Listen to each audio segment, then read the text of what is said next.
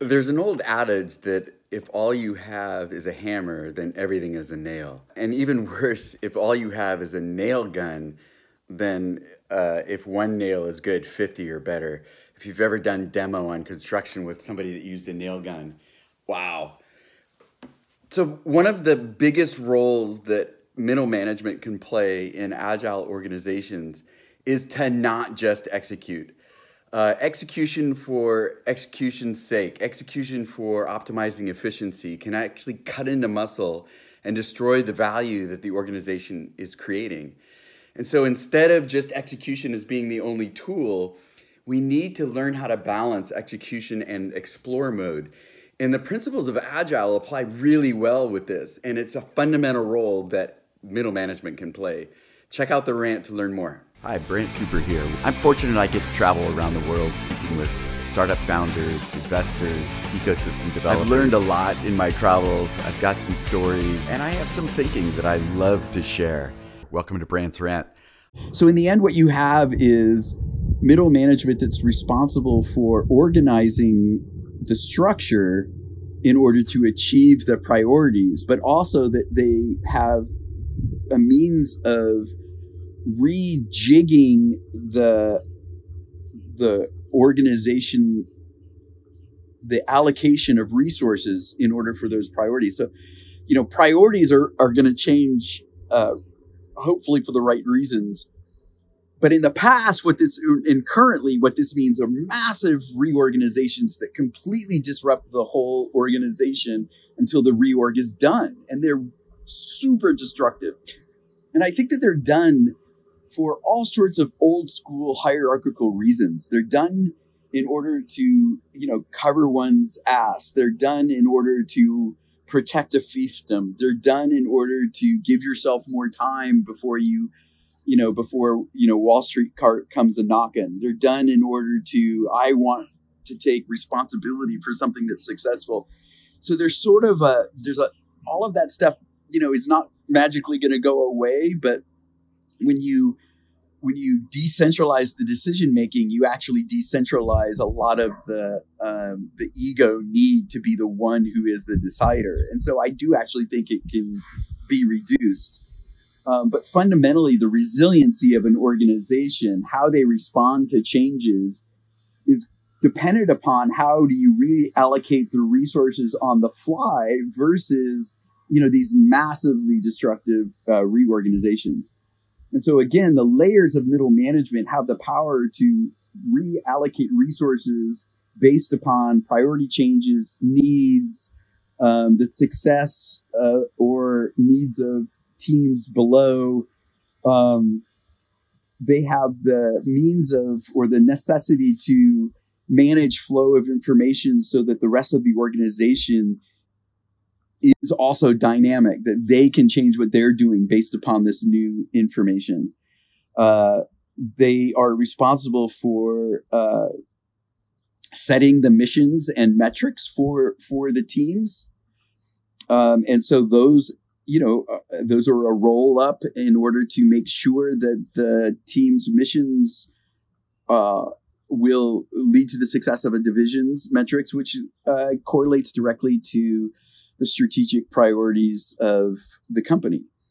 And so I, I'm hoping you're starting to imagine that rather than these middle managers being this conduit of flow of information up and down and, and you know what they feel like they need to do is manage the people below them in order to make the higher ups uh, happy and the other way around is i manage up right i present what's going on in order to assuage the fears of my boss and my boss's boss.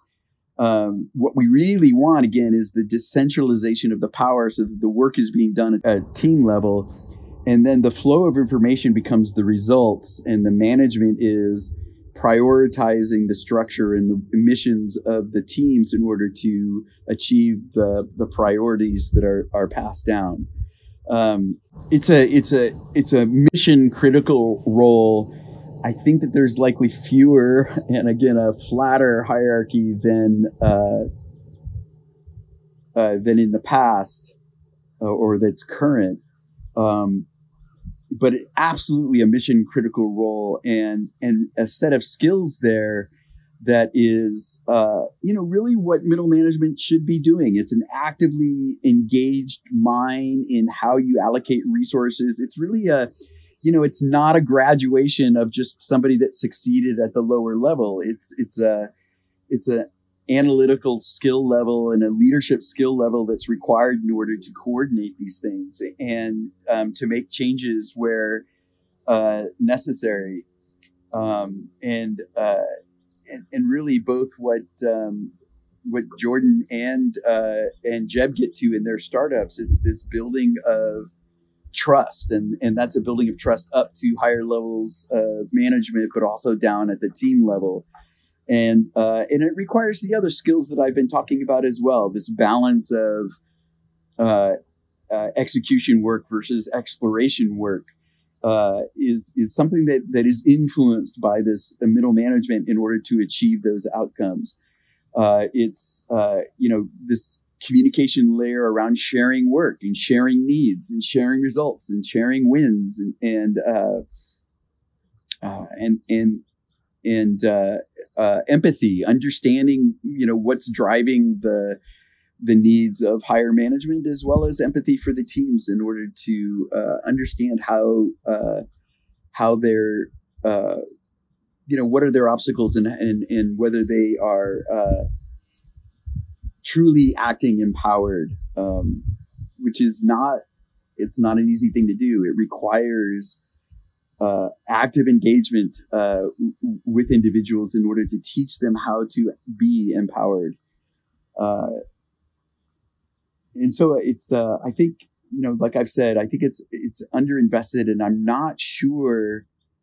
Uh, I'm not sure that this is being tackled uh, to any large degree, um, and I think that these roles tend to be assigned uh, in this in the agile structure world um, uh, and it's usually based upon you know whether they've gone through uh, particular coaching around agile and so i think that there's other skills that need to be brought into uh, on top of the agile structure skills. There needs to be you know some of the soft, some of these like quote unquote softer skills sort of the the emotional quotient the eq part of um, of building these uh, middle management, empathy, uh, exploration, uh, adhering to the evidence uh, that I, I, mentioned earlier, so that they are they're selling the evidence up rather than just you know changing the uh, the decisions um, top down because I you know I'm I'm hierarchically above you, uh, and uh, instilling company ethos and values uh, when I'm assigning my mes- mission. So that's the ethics uh, component uh, component of it. And of course, like I mentioned, it's it's really being able to influence the balance of the amount of exploration work that's that's being done.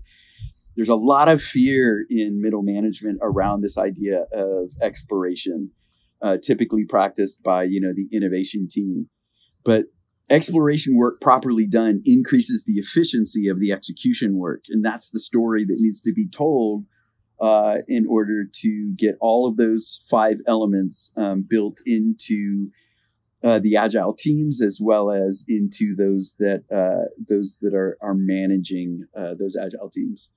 Uh, love to know what you're what you're seeing in your organizations and what's working there for the the middle management layers.